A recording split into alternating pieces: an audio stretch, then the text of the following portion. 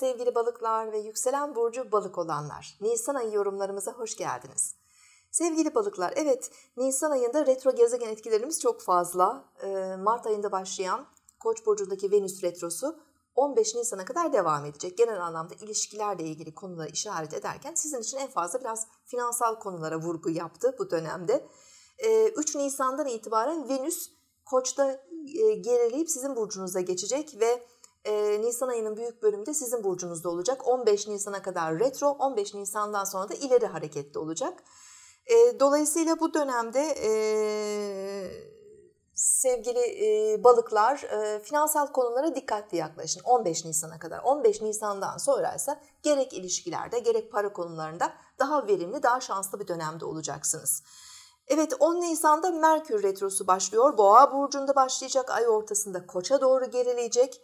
E, bu dönemde sevgili balıklar evet e, özellikle Boğa burcundaki bir Merkür Retrosu yakın çevre ilişkilerinizde e, biraz daha böyle dikkatli olmanızı gerektiriyor. Kardeşlerle ilişkiler olabilir, komşularla, arkadaşlarla ilişkiler olabilir. Bazı konularda fikir ayrılıkları yaşayabilirsiniz. Parasal konularda münakaşalar olabilir. Ticari konularda anlaşmalarda zorlanabilirsiniz. Zaten özellikle Nisan ayının sonlarına kadar para ve ticari konularda yeni bir girişimde bulunmamak çok daha faydalı olacaktır.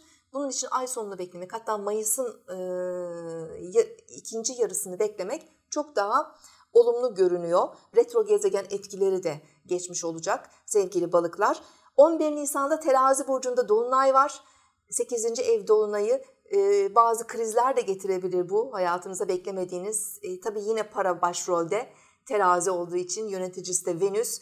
E, özellikle eşinizin kaynakları olabilir, e, ortaklı işleriniz olabilir.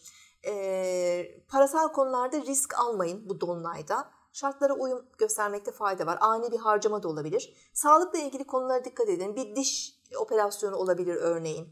Ee, sağlık, bel bölgenizle ilgili bir kronik sorun yükseltebilir dolunay döneminde özellikle. Evet 15 Nisan'dan sonra Venüs'ün düzelmesi kuşkusuz sizi finansal alanlarda daha rahat e, hale getirecek.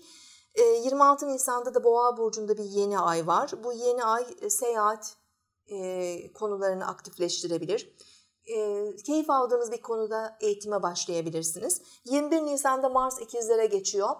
E, Mars ikizlerdeyken ay sonunda tabii ki bu etki daha fazla gündemde olacak. Özellikle ev içerisindeki konularda biraz daha mücadele gerekebilir veya e, aile ortamına enerji harcamanız gerekebilir. Ailedeki özellikle erkek figürlerle ilişkilere bu dönemde daha e, dikkat etmelisiniz sevgili balıklar. Önümüzdeki ay görüşmek üzere. Hoşçakalın.